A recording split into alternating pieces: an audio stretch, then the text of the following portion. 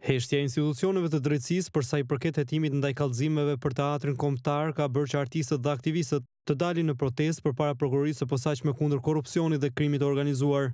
Tridhjetë e një pankarta të mëdha ku ishin printuar tetëmbëdhjetë kallëzime penale dhe trembëdhjetë shkresa proceduriale mes të cilave kërkesa për informacion mbi hetimet drejtuar SPAK, por të mbetura pa përgjigje, rrethuan perimetrin e jashtëm të godinës.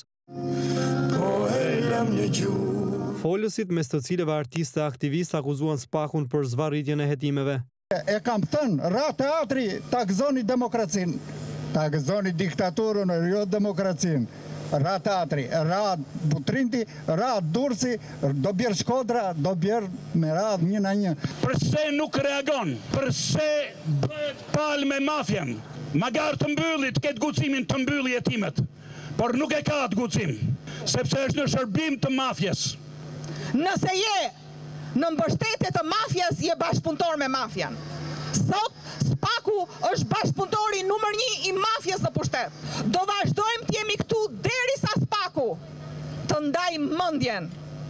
Është me mafian apo është me qytetarët. Të shpalli menjëherë sekuestron e truallit atje që trimi i bashkisë Të mos marrë kreditet e veta në sy të Komandantit Suprem.